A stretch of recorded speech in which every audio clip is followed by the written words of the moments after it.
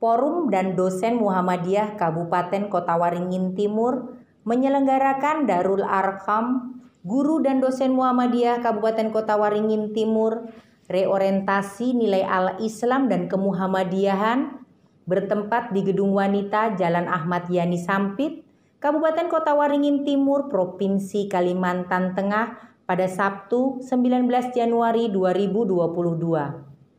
Kegiatan ini adalah salah satu proses pengaderan untuk mengasah pikiran dan gagasan tentang hidup Islami Muhammadiyah dan bermasyarakat.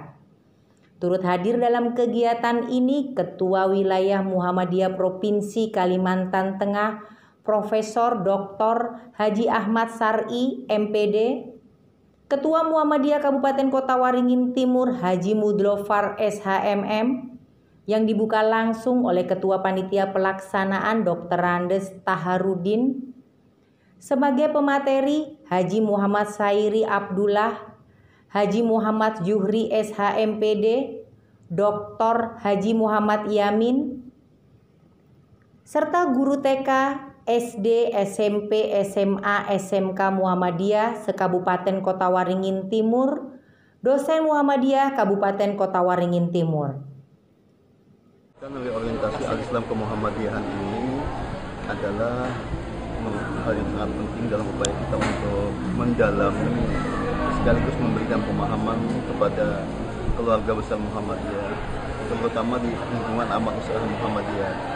Sehingga ada rasa kebanggaan terhadap persyarikatan itu sendiri karena itu kita berharap semua peserta bisa mengikuti biasanya secara aktif sekaligus nanti ada tindak lanjutnya dari kegiatan ini. Nah, tindak lanjutnya ini nanti kita akan sampaikan pada pertemuan terakhir kita dan sekaligus mengevaluasi kegiatan sejauh mana materi-materi yang disampaikan oleh materi ini bisa diterima dan sekaligus uh, dipahami oleh peserta. Ya, ke, ke depannya yang pertama kita berharap bahwa kegiatan ini kegiatan yang pertama tapi bukan terakhir kalinya. Hmm. Jadi ada kegiatan-kegiatan berikutnya yang mungkin saja dengan nama yang berbeda. Hmm. Sehingga dengan kegiatan-kegiatan ini uh, pemahaman uh, mereka terhadap persyarikatan ini lebih dalam lagi. Dan di samping itu juga perlu ada evaluasi evaluasi dari hmm. atasan mereka, misalnya dari rektor, dari uh, dekan, dari direktur, dari kepala sekolah sejauh mana materi-materi yang disampaikan ini mampu mereka aplikasikan dalam kehidupan mereka di lingkungan amal usaha.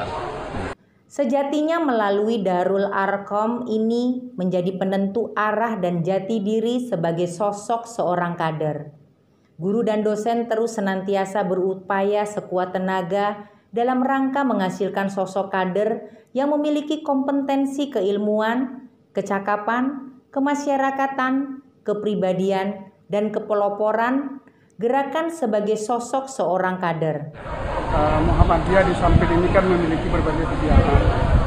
Salah satu di antaranya ada yang disebut dengan amal usaha, uh, seperti sekolah, verifikasi sama pendidikan menengah, kemudian ada perguruan tinggi, ada fikih, ada Nah, mereka ini kan mengelola sekolah Muhammadiyah.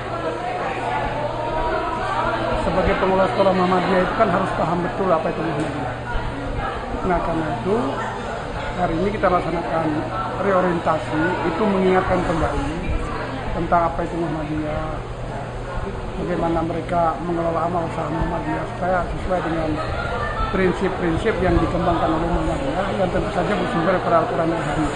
Hmm. Demikian juga dengan bagaimana harusnya berperilaku. Jadi bagaimana berperilaku dalam mengelola usaha kemudian bagaimana amal usaha pendidikan itu dikelola dengan baik gitu ya dan yang lebih penting daripada itu juga mereka harus paham bahwa amal usaha seperti lembaga pendidikan itu adalah media dakwah jadi bukan tujuan itu hanya sarana bagi pengelolanya untuk berdakwah mendakwahkan Islam agar semua orang paling tidak mereka yang mulai itu melaksanakan kajian Islam yang dengan tujuan Muhammadiyah. Jadi itu intinya. Hmm, ya. Terus apa punya rencana mendirikan universitas? Ya, sekarang ini kan sedang uh, berjalan upaya kita untuk menggabungkan eh, Akademi Kebidanan Muhammadiyah dengan IKI. Hmm. Itu merupakan kebijakan nasional pimpinan pusat Muhammadiyah. Ada melibatkan orang tua dan sebagainya Pak, karena kan usia SMP. Oh Apa ya, yang- jadi orang tua juga ada. Ya, mereka, setiap setiap saat kan orang tua diingatkan untuk bisa ma- bisa melihat alat-alat komunikasi yang mereka pegang atau HP yang mereka pegang.